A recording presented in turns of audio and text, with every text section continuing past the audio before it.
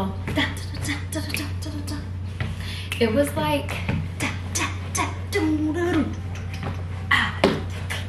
Ah, I loved it. Let me tell you.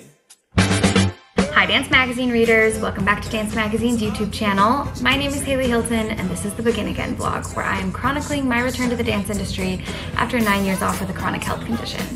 Today, we are talking about what to wear to auditions. Every time I have an audition come up, I'm stoked, I get prepared, and then I have this sneaky feeling in the back of my head that's like, oh no, no, no, what are you gonna wear? and it seems so small, but it also feels important. You know, you don't wanna show up at an audition and be just like totally out of line, not fitting what they were looking for. You also don't wanna like totally blend in with everyone else so that you like can't really stand out in this sea of matching and it's hard to know exactly what to do. And so far what I've done is I've just like gone to friends and been like, do you think this outfit works? Do you think it's good? And I haven't had any major problems, but I thought talking to an expert could alleviate some stress for me and hopefully some stress for you to kind of go in having an idea like, okay, you can feel pretty good about the choice you've made to wear this audition. You don't have to stress about it. You can go in and worry about the work that you're actually doing. So I spoke to an expert, as always. I spoke with casting director Jason Styres, who work includes A Gentleman's Guide to Love and Murder, Nice Work If You Can Get It, The Lion King, So You Think You Can Dance, like this huge list, a mile long of things that he's cast. And I asked him some of these questions about what to wear. The most important thing that Jason says to do is to read the instructions, which sounds so simple, but I think it's a good reminder to go through everything that you get sent with a fine tooth comb to make sure there's nothing you're missing. He says, you know, he regularly gets emails from people being like, what should I wear? You know, are there expectations for what we should wear? And he says that he'll go back and copy and paste what was already sent to them saying, wear this thing. So first and foremost, make sure you're checking that out. But then if they didn't, shoot them an email. He says it's not an unreasonable question to ask and if it will take away some stress from this situation, absolutely worth doing it. So for auditions that I found listed on Playbill or like ECCs or things like that where they're not as specific, um, Jason says that's a totally different thing altogether and, and, he didn't have too much direction on what to do there. Um, but it sounds like first and foremost go to like the experts that you know. So I think going to an agent would make sense being like, hey, do you have you know, if you're really like have no idea, reach out to your agent say like, hey, did they say, you know, I'm going to this audition. Have you heard anything? Did they say anything? Whatever. Um, and then also reaching out to friends. He said, you know, people's first instinct is to reach out to friends and that he says you should go to experts first, but it's not a bad idea to send a picture to a friend, be like, what do you think? There was a piece written in Dance Spirit by Helen Hope in 2019 that gives advice for auditions and it goes through like a range of audition settings you might be in, you know, musical theater, commercial, classical, whatever. And one of the pro tips that I really liked is, you know, if you're just arriving in New York or you're just arriving to like the audition grind and you're unsure, she said, go to Ripley Grier or Pearl Studios one afternoon and just kind of hang out and look around and see what are people wearing? What's like the vibe of auditions these days? Because it's always you know it's going to adjust a little bit as styles change. Um, so that's a good way to see what audition attire is. And i think also class is a good way to see that too. And then i think if you have friends who have been in the shows who've auditioned before reach out to them say like hey what did you wear to your audition? Send them a picture of what you're planning. Like what do you think? Does this work? Get that vibe. Jason says like to not go with friends first and foremost, start with the experts, but outside of when it's appropriate to reach out to an expert, friends, totally a great idea. When it comes to dressing like the role you're auditioning for, he says it's kind of weird, don't do that, but hint at the vibe, the energy, the essence without being like in green paint for Elphaba, you know? So you wanna come in what you feel comfortable in, which I think is important, but if there are specific directions, he says follow those directions. You know, there are times when it's appropriate to push back, but when there are things that are small and they've expressly said that they want it, just do it. For this audition, just do it. And he says kind of similar, like you don't go into a no shoes house wearing shoes. You know, take the direction. If not, they'll kind of see it as a red flag. Taking that advice, I'm gonna kind of imagine like if I were to be called in for this audition and you know, I didn't have specific this is what you should wear, but I'm gonna match the energy, the essence, the vibe of it, what I would do. I'm gonna show you. So here we go. Okay, so this is my outfit choice for Chicago. I have this kind of lacy top. I have these black briefs, black tights, my LaDuca shoes on. That's what I would do for Chicago. I added this little bow. I added this little bow in the back because I felt like it's a little different. You know, again, we're not costume designers. We're not trying to stand out. Maybe there's a couple of blondes that look like me and they'll be like, oh yeah, the one with the black bow. Maybe not, but that's my Chicago one.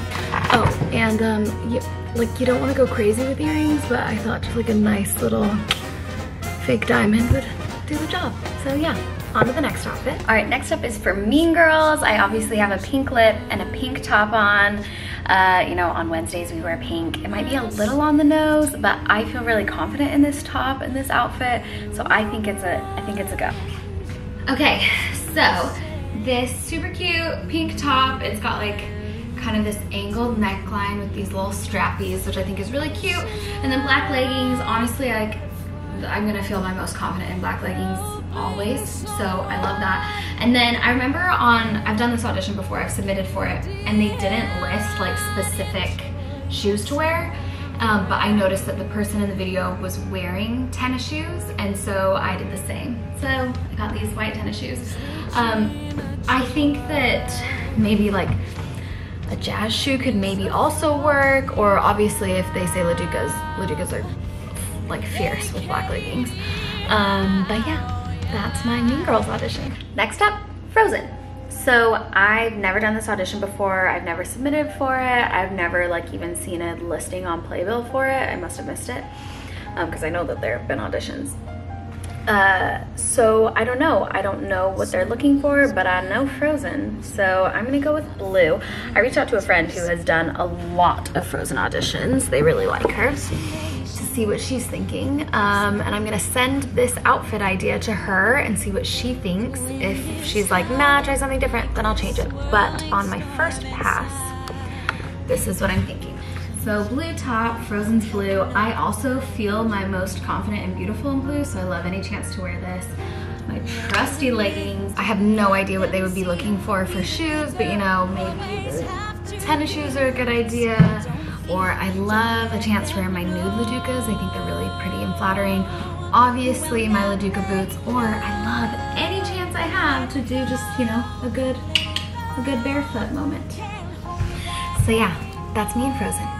On to the next. Next up, Wicked. It would literally be my dream of all dreams to go book Wicked. Look at these cute little emerald earrings for the Emerald City. Nothing too crazy. I've got this green top. Again, it might be a little too on the nose, so I would probably go to the audition with a second option if I get there and I'm like, oh my gosh, literally everyone's in green, quick change. If nobody's in green, maybe keep it. I don't know, you'd see how I fit in with everybody else. So I've got on this green top, these black leggings, and then I'm actually pretty sure, I put on these LaDucas because I'm just used to it, but I'm actually pretty sure I've done, I went to the ECC, and I actually think they might have told us to wear jazz shoes, uh, in which case I have jazz shoes, and I would throw those on. I don't, they're put away somewhere, but yeah, I think that's the main thing about shoe wear is I literally, when I go to an audition, it could be like a musical theater audition that has nothing to do with pointe shoes and I will have my pointe shoes there because I feel like you just never know. I would bring everything with me that I own. LaDucas, jazz shoes, tennis shoes, whatever. Anyway, this is Wicked. Next up, Hairspray. I actually did this audition earlier this summer and it was so fun. Literally the time of my life and I went pretty far. I actually made it to the final round of callbacks and then I haven't heard back. But it was literally a blast. Jason said, you know, if it's of a certain time period, you don't want to dress in costume but you want to give the vibe. So that's why I went with a French twist. Okay, so I wore a dress because I felt like 60s vibe, a dress would be like just a fun way to show them what I might look like in the costume without being like, this is a costume, right? This is just like a Halara dress that I love. And then for shoes, they said tennis shoes, so I wore these white tennis shoes. I actually wore a tennis shoes that's a little less chunky than these at the audition, and it was better. I could dance a little more comfortably, uh, but I think a Hoka is good too. So yeah, this is what I wear, what I did wear, what I would wear for hairspray. And just a little da, da, da, It was like ah. ah, I loved it. Oh, The next thing is the more concerty realm of things, like contemporary ballet, something like complexions or lines. Hubbard Street, something like that, this is what I would probably wear for that audition. I would want to do something that shows my lines. I've heard a lot of people say before, like, don't wear black to an audition, which I think is fair. But honestly, if nobody's wearing black, like maybe you will stand out and this is a really great line. Um, so I like this top with like some tight shorts and then obviously some nude ballet shoes, some skin toned ballet shoes that match my skin tone. I would probably do a French twist again just because I think it's a really classic line for stuff like this. I would probably do the same for ballet. Maybe a bun, but it's not like the most flattering for me, don't think. I've done, obviously done the complexions audition before and Desmond and Dwight are very specific about how they just, they don't like any garbage on. They don't want skirts, they don't want pants, they don't want anything. They just want to be able to see your lines, which is fair, which is fine. Um, if someone did allow a skirt, I would love, like I would probably, for certain auditions, go in with my skirt and my bag and if, you know, it seems like I've done research and it seems like the casting directors and directors don't care, then I would maybe do it just because I feel my best. But like Jason said, like you don't wear shoes in someone else's house. So I would never do that for complexions. But maybe somewhere else I would have it available to me. So this is what that skirt would look like with this black Leo bottom. Um, whew, I'm getting hot and sweaty doing all these quick changes. Uh, okay, the next is if I were auditioning for the ensemble of the Radio City Christmas Spectacular. Obviously, I can't audition to be a Rockette because I'm five foot two.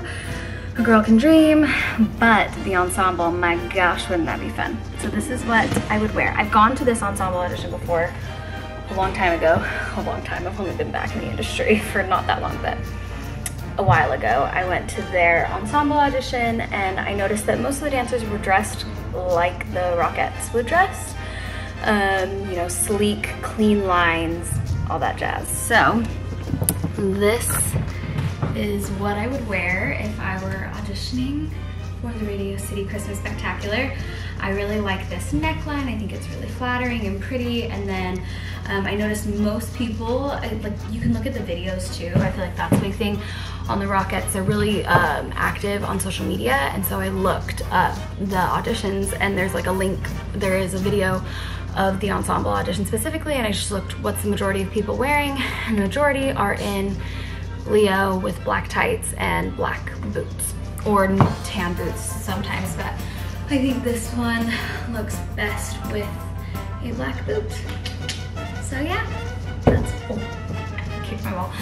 That is my Radio City audition outfit. Last but not least, a classical ballet audition. I have not done one of these in a really long time, if ever. Um, I've done like one-off gig, like go and take company class kind of things, but if, you know, I were going to one, this is what I would wear. So, obviously, uh, for classical ballet audition, I'm gonna wear a leotard, I'm gonna wear pink tights, and whoa, I'm gonna wear a leotard, I'm gonna wear pink tights, and then I'm gonna wear my pointe shoes. Uh, I threw on the skirt because given the chance, given the choice, I will always choose a skirt.